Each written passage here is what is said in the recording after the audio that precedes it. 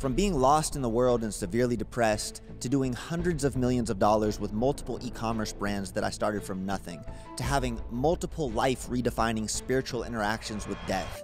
My name is Robert Oliver, and this is my story. So, my story isn't about money, but I want to tell you the exact details of how I engineered this game that we call life to give me total and complete financial freedom.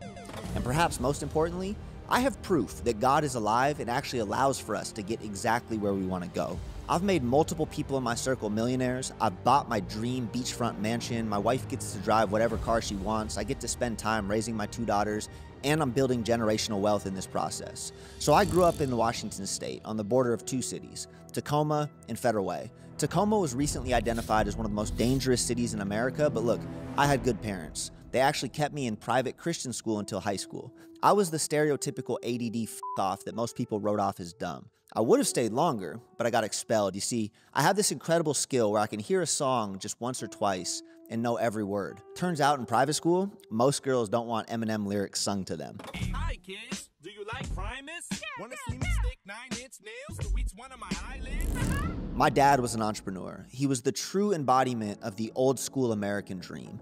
No college degree, started from absolutely nothing, and he made enough money to send his boys to private school. Watching my dad pick up and outwork everyone year over year, it really is a lot of where my foundation comes from. Like I said, he had no formal education, no advanced knowledge, he had nothing growing up, but he knew how to hustle and he knew how to close a deal. By just showing up every day and wanting it more than everyone else, he created a much better foundation for me than he ever would have dreamed possible for himself. So, one of my first real business moments comes from going to the Sonic games when I was a young kid. I was probably like first grade at the time, and a lot of the time we'd show up to the games without tickets because he loved to work with the scalpers. He liked to hustle the hustlers. And for me, there was always this like awkward energy, right? The scalpers are usually black. He's this little white dude. And he would just get in there and mix it up. He'd put himself in these like, like I felt super uncomfortable, but he would get them, you know, betting against each other. He'd say, hey, this guy would this guy would do the tickets for 100, but this guy said he'd do it for 90. Will, will you beat 90?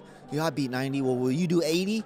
And he would just get them, you know, clanking. They were friends, but he'd come in there and disrupt the whole mix. It was, you know, at the time, it was like very strange for me. But in hindsight, I'm like, oh, like this was a zero sum game. This is kind of how the world works. And, you know, hat off to that. Eventually, this transitioned into me wanting to hustle and make some money as well. And so I fell into the sneaker flipping business. This was early high school, and I was super into shoes. I used to collect them, and this was the first time where I realized, hey, I can make some money out of a passion of mine. Basically, I had a homie who worked at Foot Locker, and I would always lean on him for the new releases. He would actually bring them to me a day before they actually were released in the stores. These were always sneaker drops that people would camp out for, and there'd ultimately be like a dramatic, you know, uh, resale market. They'd sell for a lot more. We realized that Foot Locker actually had a pretty big allocation, and so it was no big deal if 10 or 15 pairs were committed to friends and family. In this era, it actually predated drop shipping, but we'd collect the money up front from people that were in the market and then we'd distribute the shoes after. I actually got a really good taste of how business could go wrong here. I remember this vividly. It was a Jordan 4 release. And you see, in this world of sneaker flipping, our customer base wasn't always the most reputable. And so there was one situation where, you know, one of our customers was a drug dealer, for sure, no doubt about it. And Foot Locker changed the allocations on us. So long story short, we had collected the money from him, but we didn't have the actual shoes. And obviously we're gonna go to him, we're gonna make it right, we're gonna give him his money back. But this man wanted those shoes and he actually like he flashed a gun on us. A young high school kid. I'm just like, oh shit. Like this is okay, all right. And it ended up being cool. Like we squashed it. I think we got him first in line for the next release. But again, you know, there's there's conflict in business from time to time. So you know what else is funny? I had this affinity for shoes and fashion, but I still couldn't get any girls in high school. People see me now, 6'4 athlete, peak shape, and they don't believe me when I tell them that I was Five three my junior year of high school. I think this probably had some sort of amplified psychological effect on me that I still haven't processed yet, but bro, I got turned down by every single cute girl. And like, I remember my sophomore year, there was this girl I was crazy about. And I wrote her this, you know, little letter. It was like a love letter with some song lyrics. And I remember walking up and handing it to her. Like sophomore year, you know, nervous little kid.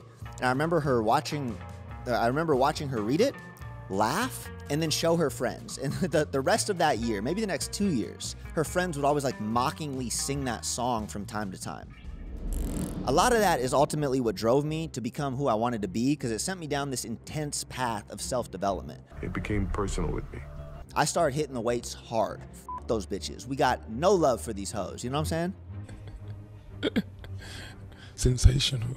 I took that same energy into college, and I felt like this is where I really started to come into my own. I hit the weights every day. I focused on myself, and I feel like I really put the hours in. This is actually around the time that I started to formulate my own supplements in search of an upgraded physique. I was glowing up, and some of that magic ultimately manifested during my 19th birthday. I took a trip up to Whistler, Canada with a handful of close friends and then invited another group of friends as well. In this other group of friends was this girl, Jing.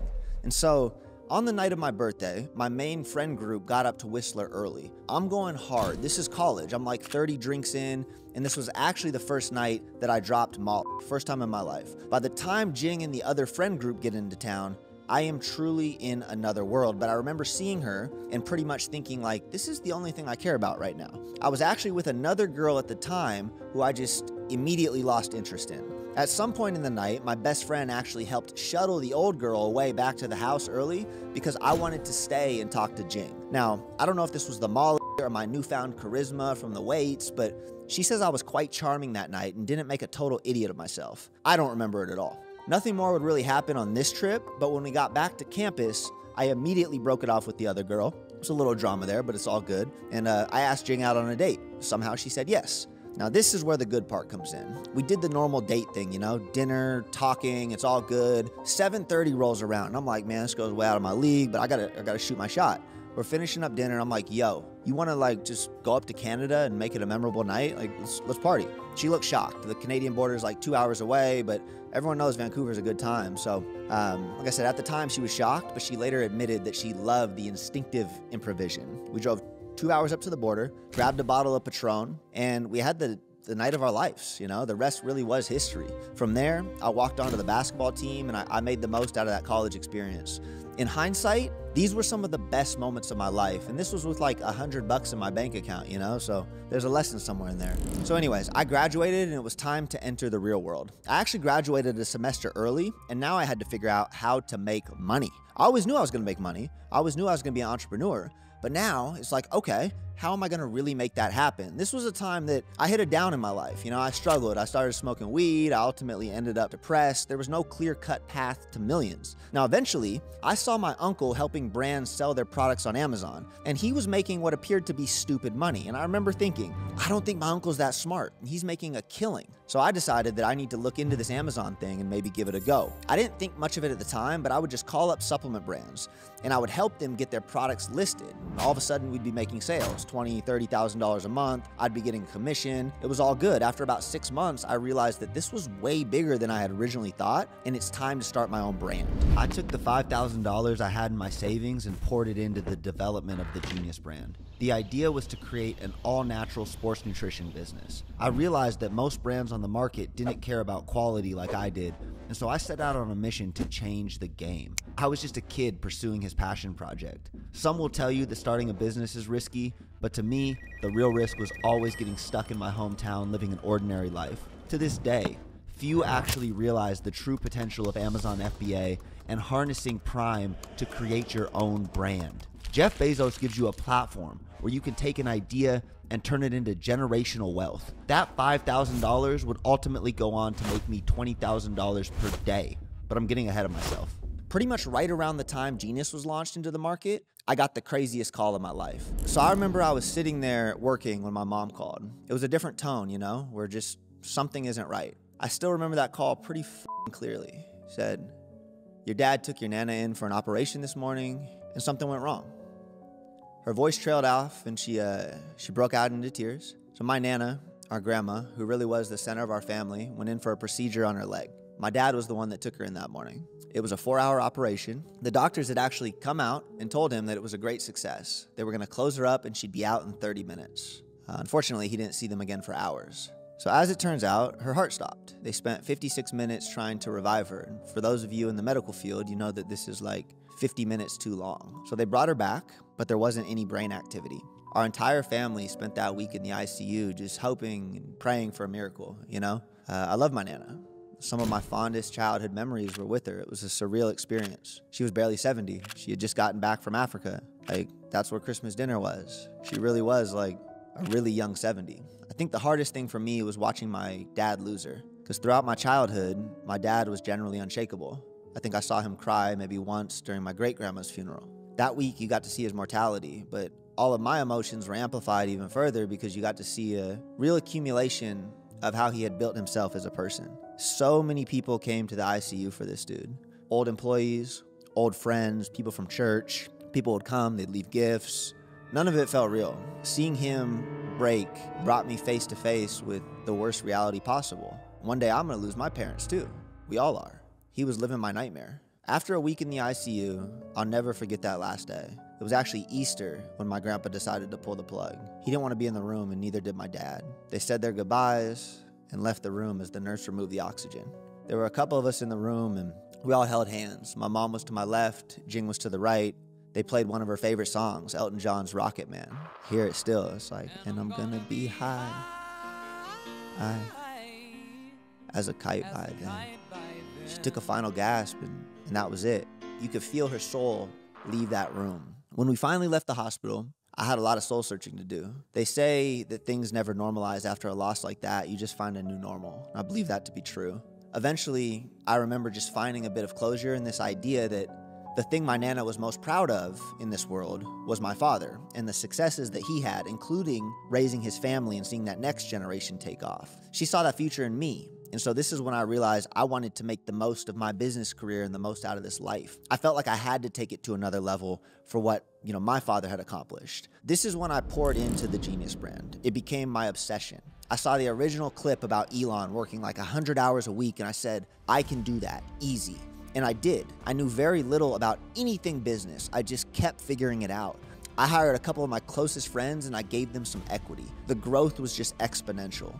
We went to a million and then to five and then to 15. It was like a fucking rocket ship, and I was damn near positive we were gonna go straight to 100. But again, the universe had different plans for me at this point. What I learned is that real entrepreneurship is rarely, if ever, a straight line. Your resolve will get tested, and the most important thing is that you simply don't give up. In the middle of our meteoric rise, Amazon released a new AI bot program designed to punish anyone that thought they had fake reviews. So I've told this story a little bit before, so I'll give you an abbreviated version. The business is like at 15 million or something, somewhere around that range. And I leave the country for the first time. Me and my wife decide to get married in Ireland, so it's just direct family. We get married, the ceremony's beautiful, the business is still plugging along. I'm a little anxious to leave it. And all of a sudden, that wedding night, I look at three of our products and they just start losing chunks of reviews. It's like 20 at a time every 30 minutes. This happened for the next several hours until the products ultimately had zero reviews. And if you know anything about Amazon, zero reviews is a death kiss. This same process repeated week after week for like the next eight weeks or something like that. All in all, we ended up losing about half of our business in the course of two months. So the business was cut in half. It was at this time I sat down with my best friends, because these aren't just employees to me, these are friends, these are brothers. And we had two choices. We could like liquidate the remaining inventory, put some cash in our pocket, and walk away, or we can double down because it wasn't just us being hit, it was like everything on Amazon. So we took the remaining capital we had and we launched a handful of the best sellers that we have to date. This was the most aggressive moment in the business. We not only doubled down, we tripled down. Everyone said, fuck it, we're gonna go for this and we're gonna build and we're gonna create. The business, like, you know, we got back to that same point we were with all the new product launches. And then Amazon admitted they made a mistake and gave us all our reviews back. And so at this point, now the business is, you know, 30 million and we are booming. It's at this point that a private equity fund comes in, right around the time that, you know, I find out I'm expecting my first child. Private equity firm comes in, they make us an offer that we just we can't refuse. It was too good. I made a whole video on that. You should check it out later. I'll link it below. But we exit the business, multiple eight figures, and I am riding high. I'm living the good life for like a year. So my daughter's born. I'm still working for the business, but taking it kind of easy. It's all good. We're having a great year. I'm enjoying being a father. And then one day, kind of out of nowhere, my wife notices like this irregular mole growing behind my ear. She tells me that I need to go in and get this checked out. And me being me, I don't think too much of it. You know, I agree, but I don't really make any concrete plans. It isn't until later that summer where my mom tells me that you are taking my dermatology appointment. She had an appointment scheduled She slid me in. I went in, still not thinking any big deal of this. The dermatologist looks at my ear and he tells me, that is coming off today, and there's like a 50% chance. So, like, 50% chance of what?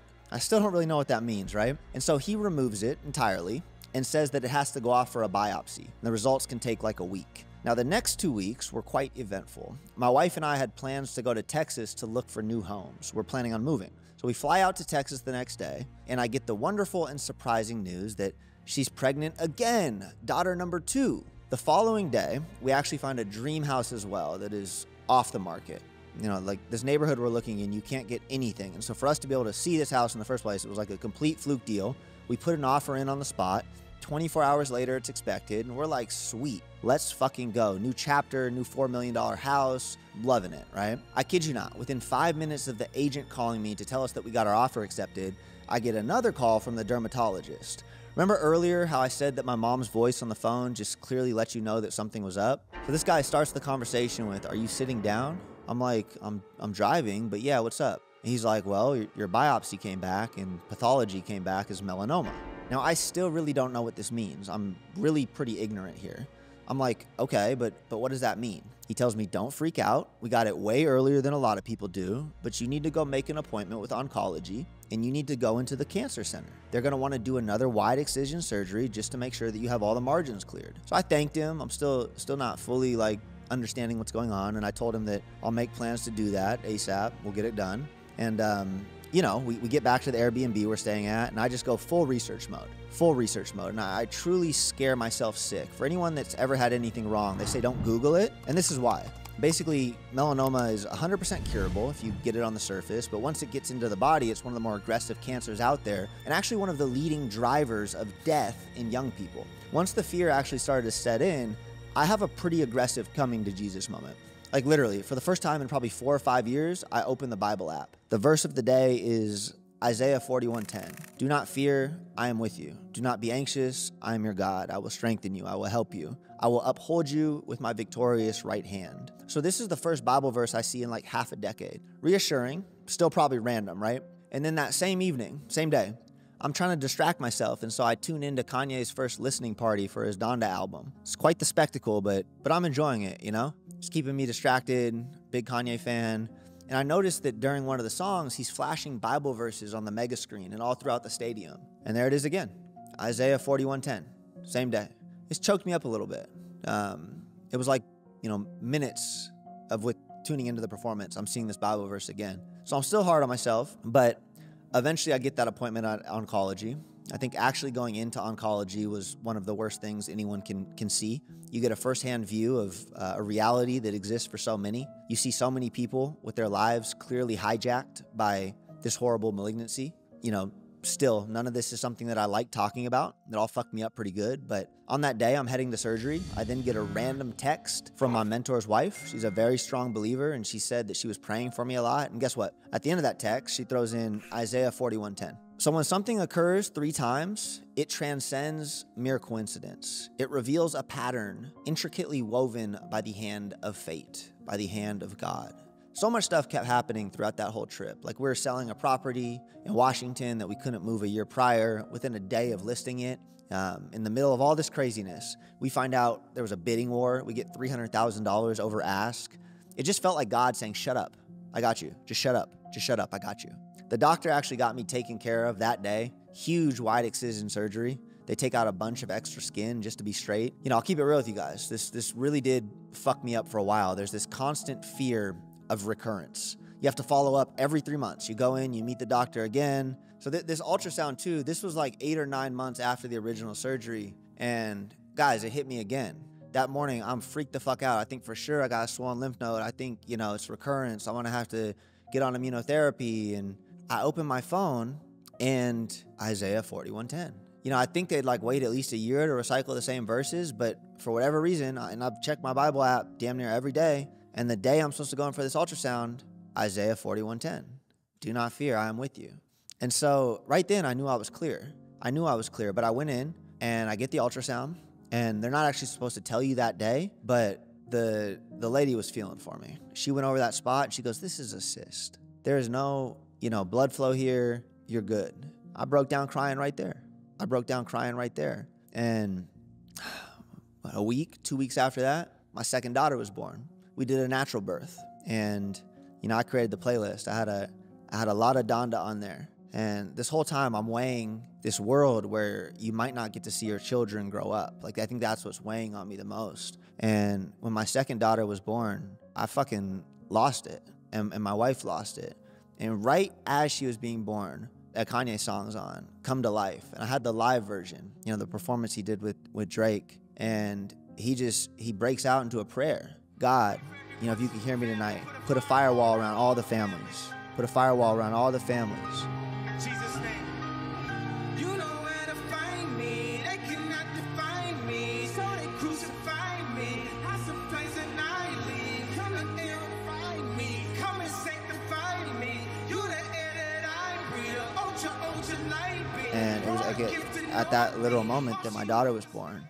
And you know, my wife looks at me and she's like, "We did it," and I just, I, I started crying a lot.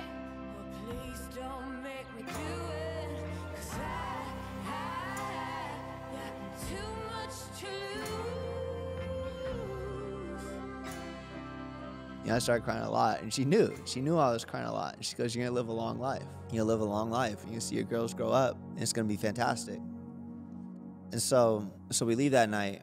Two girls now, a clear bill of health, with a constant reminder that could all be taken away at any moment. And uh, I think most importantly, another opportunity to really make a mark. It was at that point that I truly realized there is no top of the mountain. There is no destination. We aren't going anywhere. Very few things actually matter in this life. But the human experience, it's just that. It's an experience. It's made to be experienced. I know in my heart that we are designed to experience it to the maximum. We are designed to create. We are designed to build. We are designed to leave things that transcend death. The point is to get to a place where you actually own your time and can pursue projects and build whatever it is you want to build. The point is to not answer to anyone other than God. With this energy, we took our new family unit back to Puerto Rico. This is where I decided I just want to live every second of it. I want to maximize my reach. I want to maximize my network. It was around this time that I doubled down on personal brand. I launched my mentorship and, you know, little boutique private equity arm within Million Dollar Brand Club.